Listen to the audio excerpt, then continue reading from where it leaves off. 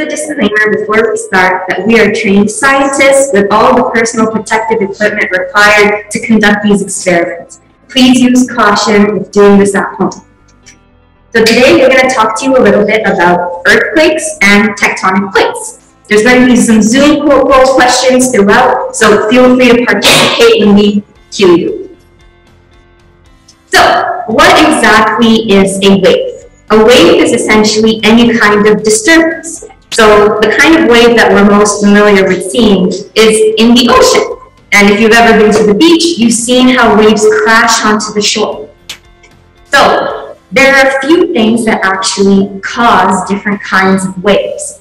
Um, the first and most common one is wind passing over the surface of the water. So what happens is fast moving wind passes over the water and causes a change in surface pressure. There's increased friction, and the wind passes its energy into the water to cause waves.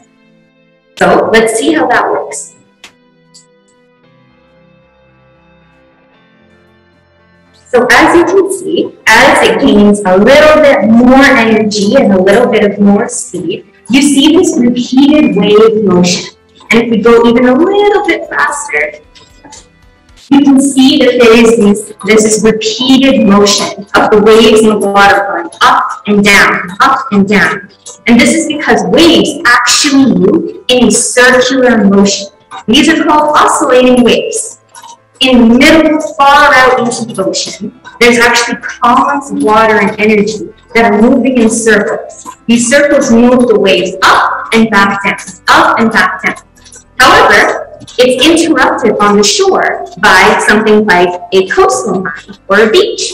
And that's what we see here. And instead, what we see instead of a circle is this repeated oscillating wave.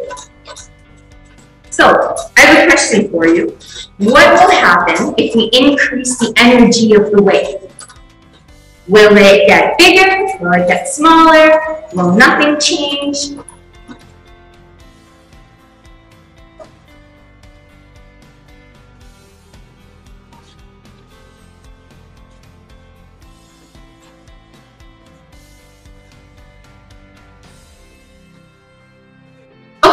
Let's see. So let's increase the speed of the wave. And looks like you guys got it. Yeah, so the waves get a lot bigger because they have more and more energy.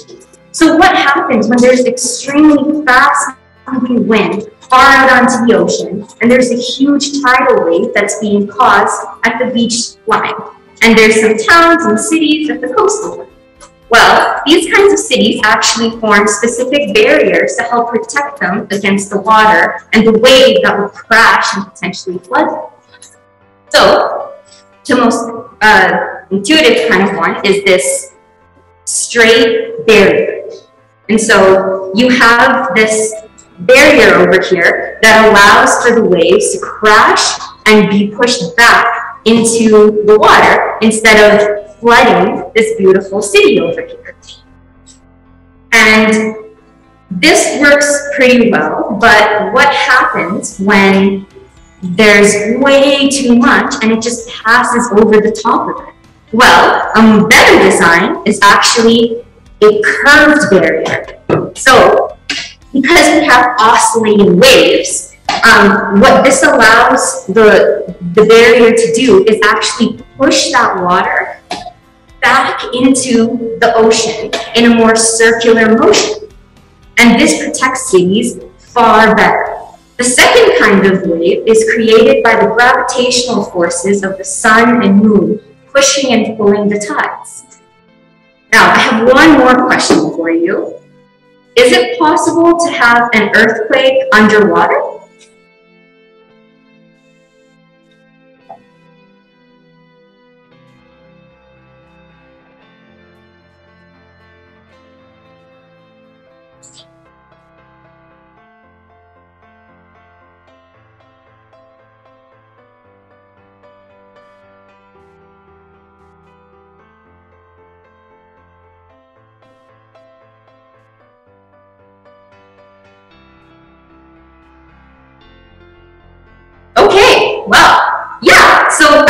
Absolutely you can. And an earthquake underwater is actually what causes the third and maybe the most dangerous kind of wave, which is the tsunami.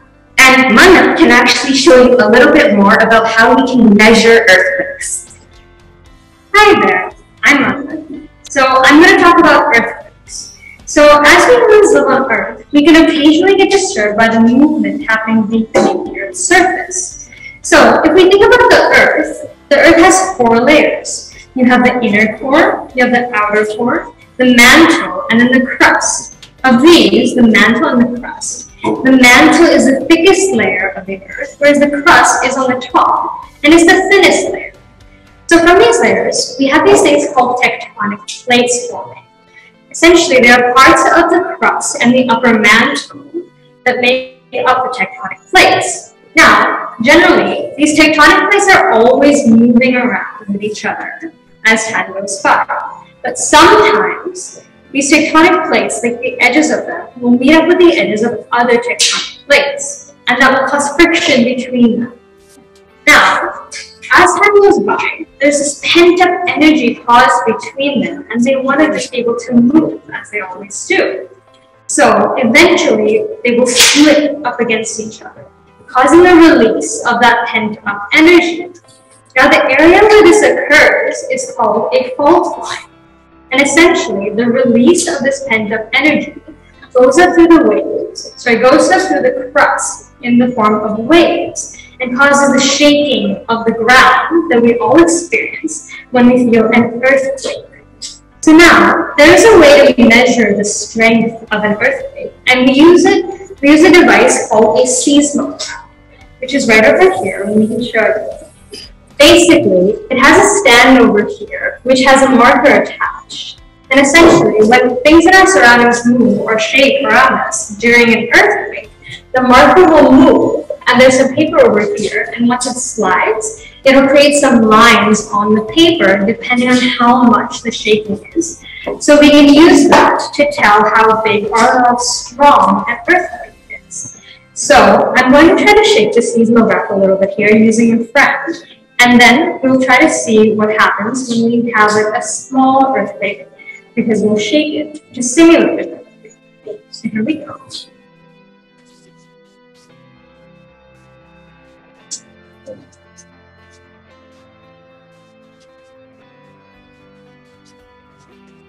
As you can see, it's shaking a lot. Here, you can see the lines on the paper are like fairly small and fairly close together. This is what happens when a seismograph records the waves of an earthquake and writes them down in the paper. This is what we call a foreshock.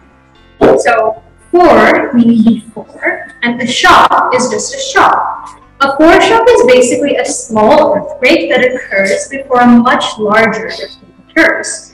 Now, if we think about a main shock, it's a larger earthquake. So I have a question for you. What do you think will happen to the lines on the seismograph when there is a bigger earthquake? And you have some options for you. A, they will be bigger and farther apart. B, there won't be any lines. C, they'll be small, they will be smaller and closer together, or D, nothing. The sequel will break. So what do you think will happen?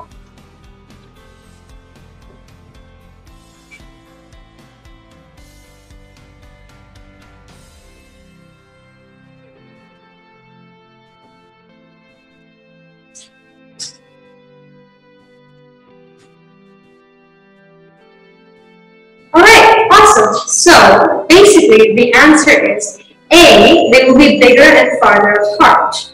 Now, if you have a small earthquake, it's going to make some really small lines, right? But if you have a bigger earthquake with more energy coming all the way through the crust, it's going to shake more, and therefore the pencil or the marker will shake more in the seismograph. Now, we're going to try to simulate what we call a main shock. That is the much bigger earthquake that occurs after the foreshock, which was the smaller earthquake. Now we're going to simulate this using much larger violent shaking movements for the seismograph and we'll see what happens.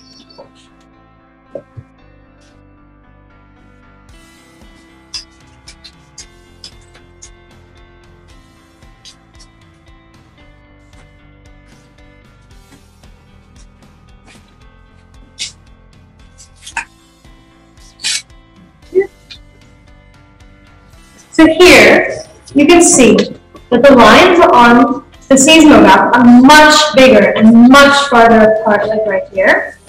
See? You can see that properly. So you can see, you guys were correct. The main shock has a much larger, much farther apart waves to show the strength of an earthquake. Now, I have another question. If we think of a foreshock, as in the smaller earthquake that happens before a larger one, and then the main shock is the larger earthquake, what do you think an aftershock? And here you also have some options.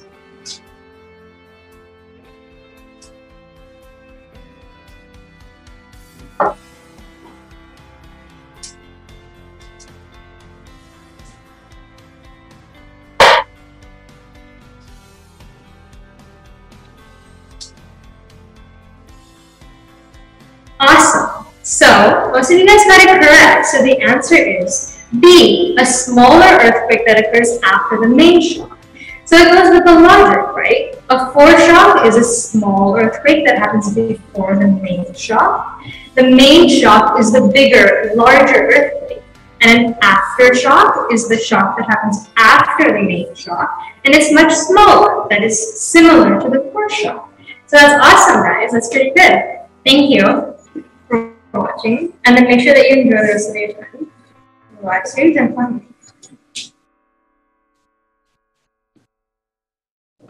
Alright guys, we hope you learned lots about earthquakes and tectonic plates. Um, if you have any questions, you can type it in the chat and let us know and we will do our best to answer.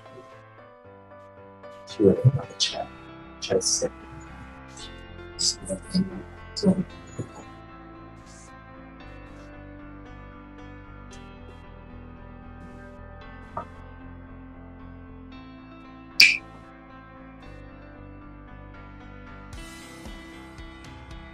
Perfect. So we got a question here from someone. They said the duration of tracing a seismograph will be based on the speed of the paper and the recording material as it passes the recording device. So the amplitude would be larger, but would they be farther apart? Sorry, can you repeat the question? Sure, yeah. So they're saying the duration of the tracing of the seismograph is dependent on how fast the paper moves, right? Yeah. So they're asking um, the amplitude would be larger, but why would they be further apart? Based on how fast I think this would depend on how far, like how quickly you're able to speak, like to be able to pull out the paper. Now for this one, this is a bit of an artificial, like it's a more like, um, it's like a model of a seismograph, but then some people will use more accurate, more precise models as well. We are using this for the purpose of demonstrations. However, generally, if you want to be able to pull out the paper, you want to be able to pull it out consistently.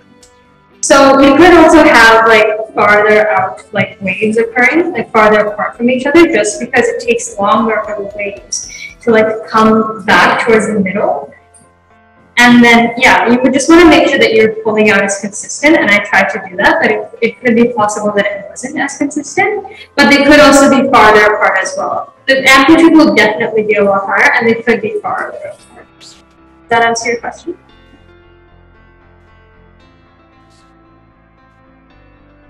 Perfect. And then we have another question here. Uh, I'm not sure if I know the answer off the top of your head, but it's asking, what is the tallest tsunami ever recorded? I don't know the answer to that one, but that's certainly uh, that's certainly a great question.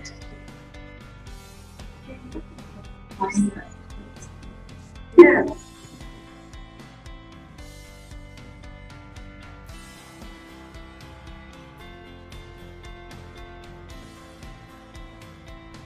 Do we have any other questions?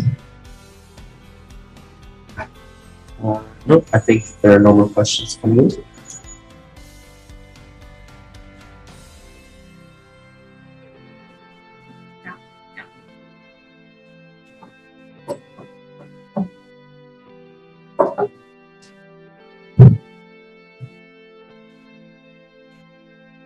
So if there are no more questions, we, we hope that you really enjoy the rest of your, of your time at Fun with Your Lincoln.